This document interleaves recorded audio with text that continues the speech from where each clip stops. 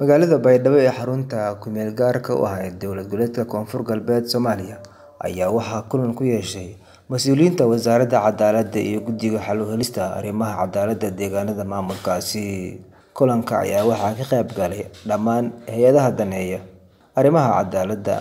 Maxamed Cabdi oo ka socda hay'adda EIJA oo ka shaqeysa arrimaha cadaaladda ayaa ka hadlay ujeedka kulanka. Waxaan ka sheekeynayno waa access to justice committee.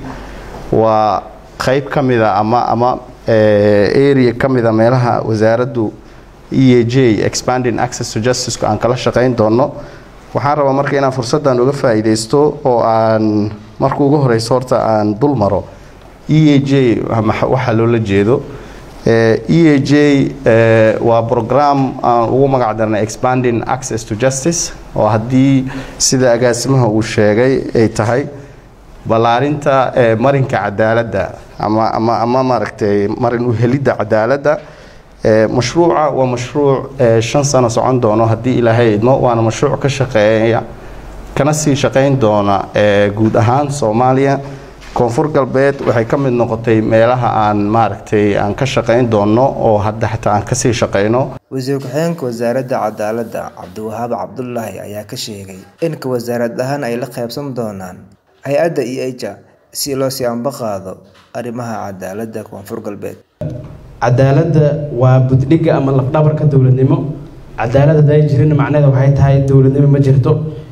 Waa in la helaa dowlad mar walba ugu adeegta bulshada cadaalad muxuu ahaay qofkii gardarana gartiisa siisa kii garlayna gartiisa u qaato si maxaa la loo dhiirigeliyo dowladnimada iyo kala dambeynta.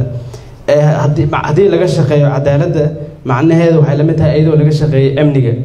Macnaha waad dareemi kartaan baahida maanta loo qabo amniga markaan dhaha baahida koonfur galbeed iyo guud ahaan soomaaliya baahida loo qabo amniga waad dareemi kartaan cadaaladdana waxay la mid tahay midaas iyadoo laga shaqeeyo amniga ay la mid tahay waxay la mid tahay haddii amniga laga shaqeeyo waa dhaqaalihii waddanka oo la kubciyay ay la mid tahay. Iyo siyaasaddii oo kor loo qaaday iyo guud ahaan dib u dhiska dalka.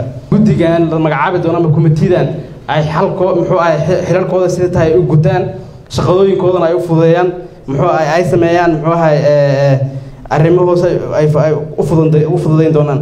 Runtii guddiga haddii la magacaabana waxyaalaha ka shaqeyn doono waa waa noola casho dad waxaa jooga expert team ah oo wasaaradda ka socdo oo runtii noo sheegi doono objectiveska iyo roolka ay qaban doonaan guddigaas iyo tirada uu ka kooban ka koobanaan doonana la isku raaci doono. Laakiin loo baahan yahay dhammaanteen tiimkaas aan ka noqon doono hal tiim shaqadeena ay noqon doonto hal oo ah in la helo cadaalad waarta bulshada koonfur galbeedna ay muxuu ahay ay helaan cadaalad ay xaq u leeyihiin meel walba ay ku nool yihiin ama ay ka joogaan degmooyinka gudaha koonfur galbeed maxamuud daacad raadiyaha telefishinka city muqdisho